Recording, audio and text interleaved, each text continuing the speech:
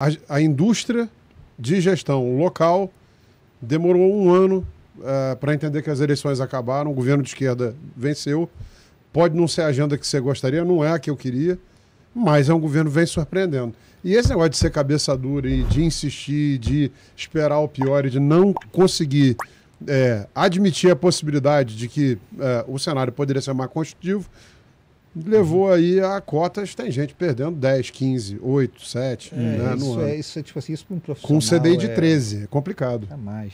É isso. É tipo assim, eu, eu, eu, vou até dizer, uma das coisas, eu sempre, eu sempre me impressiono com a minha capacidade de errar, entendeu? E ter que pensar diferente, ter que dizer assim, cara, eu errei isso, eu tenho que pensar diferente. Vou até fazer uma confissão aqui. Eu votei no Bolsonaro na primeira eleição, na eleição do Bolsonaro ali de 2016. Tá? Eu vou ser sincero 18. com Foi 18? Ele foi. Oh, meu Deus do céu. É, 16 foi o Trump. Né? 16 18, foi. É. É, e, cara, eu me arrependi. Tipo assim, eu, eu achei o governo tipo assim, me, muita coisa me decepcionou enormemente, muita coisa que eu acreditava ali não veio. Eu tive que adaptar minhas crenças, eu tive que adaptar meus. E, e eu aprendi ali o quão pouco eu sabia com relação, ou quão pouco eu sabia com relação ao que eu imaginava que poderia ser e o que efetivamente foi. E aquilo ali, para mim, foi uma lição de humildade no momento. E eu não cometi esse erro com Lula. Eu, quando vi a eleição do Lula, eu disse assim: as pessoas começaram a agir com fígado, né? É, por exemplo, eu tenho na família muita gente que é, que é mais de direita né, e começaram a buzinar no meu ouvido. Eu digo, não, não, não é por aí. Inclusive, toda a visão, eu, eu lembro, Valtinho, que você falou no teu programa, que as pessoas sempre erram o Brasil para baixo. Né? Uhum. Elas, imaginam que vai ser pior, tem sido melhor nos últimos anos, inclusive nesse primeiro ano do governo Lula. Não, né? nos últimos cinco, é.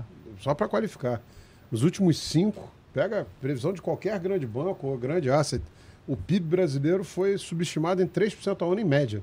É uma barbaridade. E eu, te, tipo assim, uma das coisas que eu mais apanho em live é quando eu falo assim, cara, eu, eu, eu tipo assim, essas pessoas me batem mesmo, né? Meu filho, meus filhos nasceram fora do Brasil, né? Nasceram quando eu morava na, na, na Europa. Eu digo assim, eu acho que as oportunidades dos meus filhos vão ser melhores aqui do que na, se eu tivesse deixado na Inglaterra. As pessoas quase me batem quando eu falo isso, tá? Mas eu acho que o Brasil está sendo subestimado há bastante tempo. Concordo. Eu acho que as pessoas, eu acho que o mundo está deteriorando em vários aspectos institucionais.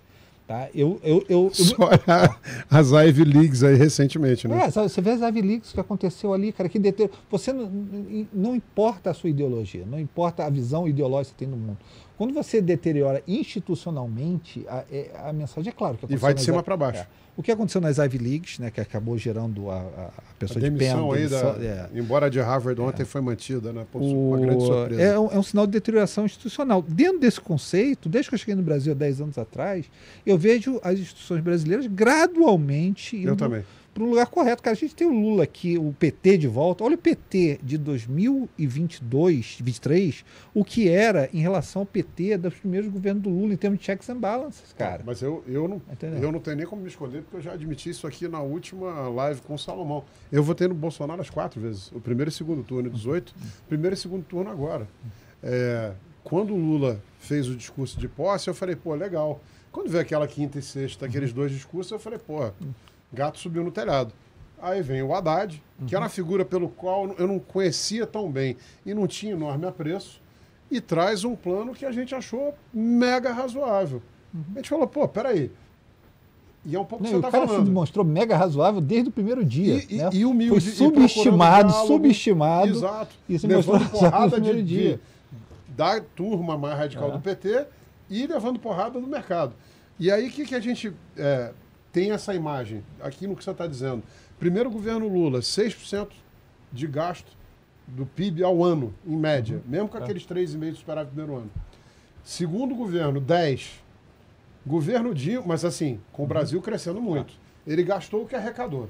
E a Dilma fez lá uma nova matriz, gastou 4,7 em média e botou a gente naquela trajetória uhum. desgovernada. É, quando você olha lá 0,6 com 2,5, uhum. O que, que isso quer dizer?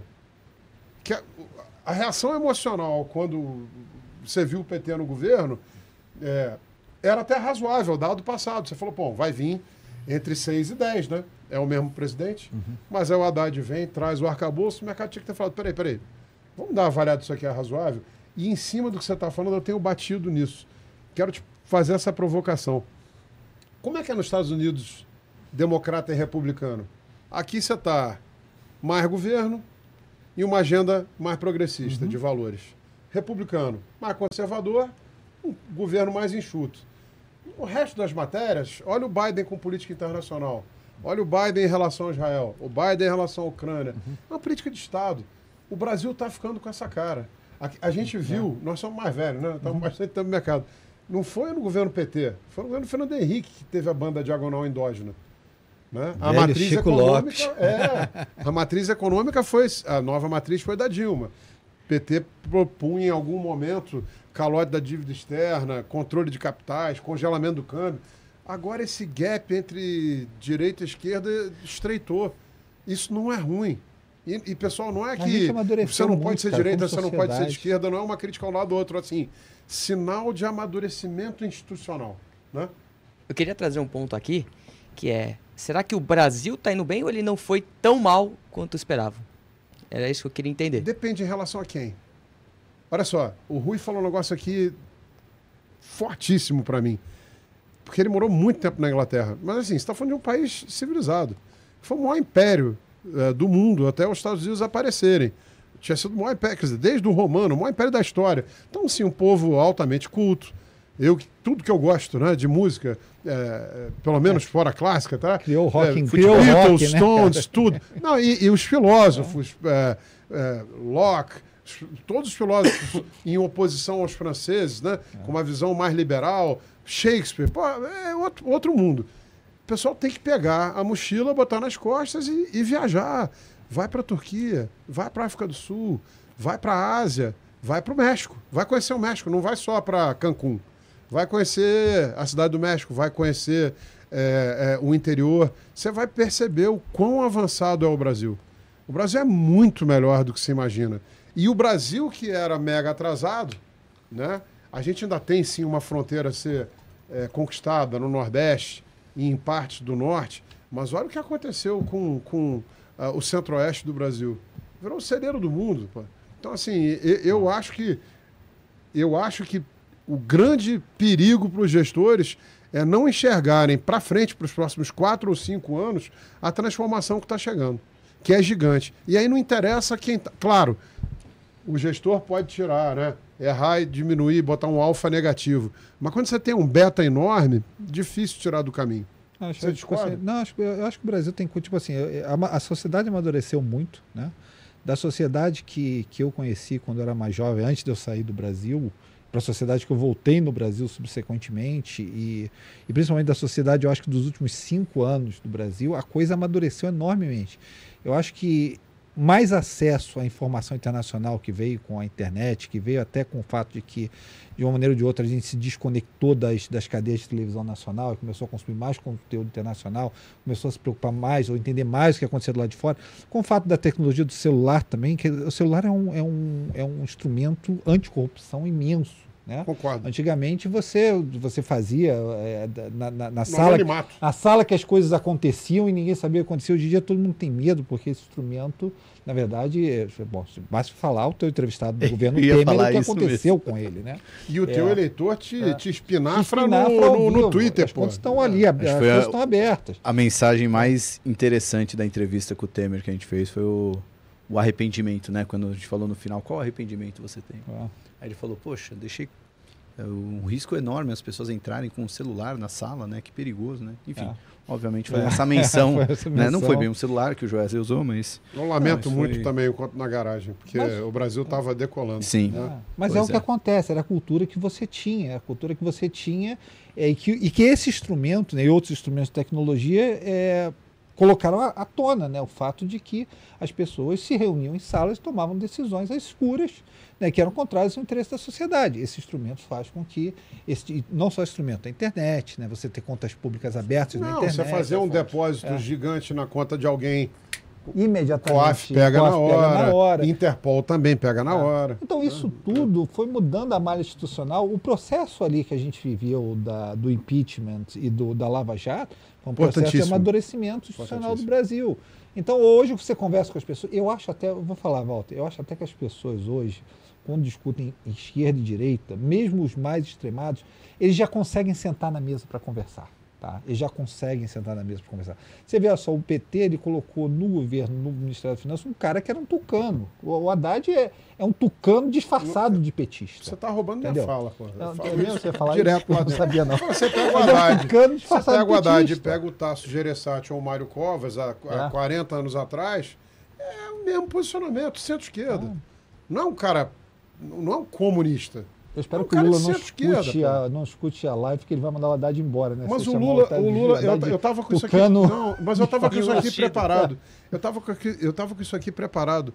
É, olhando a, a, a, o que o Lula falou ontem, acho que ele falou para a claque dele, mas a melhor chance que ele tem de sair popular, de fazer um bom governo, é ouvir o Haddad. E por isso o mercado tem que apoiar o Haddad fortemente. Uhum. Porque o maior risco para o Lula é o Lula. Então, assim, é, encontrou o Brasil num momento interessante. Né? Acho que o governo Bolsonaro, com todos os tropeços, Paulo Guedes é muito espinafrado pelos gols que ele não fez, mas eu acho que a posição dele não era de centroavante, era mais de goleiro. As bolas Sim. que ele não deixou entrar foram fabulosas. E entregou para o Lula um país bem arrumado. Olha, eu, eu, a gente tem um, um, dado sobre isso. Nós conseguimos trazer a inflação 8,7 para baixo a um custo de 0,3 do PIB. Não tem ninguém, ninguém no bloco desenvolvido ou emergente que fez nada parecido. O mundo desenvolvido conseguiu trazer a inflação 4% para baixo a um custo de 3% do PIB, em média. O mundo emergente trouxe a inflação 1,9% para baixo a um custo de 5,5% do PIB. Vou Chile, lembrar de novo. O Chile foi parar a economia. Exato.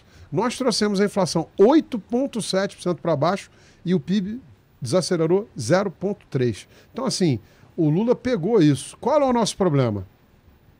Antes da pandemia, a gente devia 33% do PIB a mais que a média emergente. E isso graças à economista do ano. Né? Foi o governo dela. Não, eu, eu, tento ser razoável com todo mundo. Foi um governo desastroso. Não é querer mal a pessoa. Foi desastroso. Gerou 18 trimestres, recessão. Pessoas perderam emprego, empresas quebraram. É, o Brasil deixou de crescer uma barbaridade. O custo disso, qual foi? É difícil estimar. Trilhões, né? E, bom, e aí a gente devia 33% do PIB a mais que os outros países emergentes. Hoje a gente deve 21%. Então, assim, a gente saiu dessa crise com um gap 10% menor, só que a gente ainda deve 20% a mais. E esses 20% a mais podem nos custar muito caro se a gente não cuidar do fiscal. Então, de novo, o ministro Haddad merece todo o apoio. Não, concordo. Gênero, número e grau. Tudo bem que essa, essa queda da dívida, eu tenho um desafeto com o Guedes nisso, né? Com o Guedes, talvez com, com o Campos Neto, né? Mas é na vista do, do investidor, pessoa física, né? Porque, na verdade, essa queda de, de dívida PIB, né, que, que o pessoal mais de direita fala com glória, né, foi, foi a minhas custas do meu bolso. Né? Sem dúvida. Porque a inflação foi a 10, o, o Campos Neto me pagou 2 de juros, né, o juro real de menos 8, e eu paguei para o Brasil ter uma dívida PIB menor. Senhor Raj. Mas e até, é, isso até é um tema que a gente certamente vai voltar mais tarde na live, né? Que as pessoas vão perguntar assim, ah, como é que você resolve essa questão da dívida? O juro real brasileiro, em algum momento você vai ter que pagar juro real negativo de novo. Eu só não sei quando. Mas a gente vai ter que pagar juro real negativo em algum momento, novamente. Os juros mais baixos, nenhum, sem dúvida, aliviam. Nenhum demérito, tá? Porque os Estados Unidos pagou juros real negativo por uma década recentemente, ninguém falou nada. Bom, se a gente privatizasse a Petrobras, Petrobras mais PPSA, é, eu acho que a dívida PIB cai uns 10%. isso é ser um golaço, porque o cara que você menos espera que pudesse fazer isso, resolve fazer um down 180, pô, sai com o país voando. Mas não vai fazer.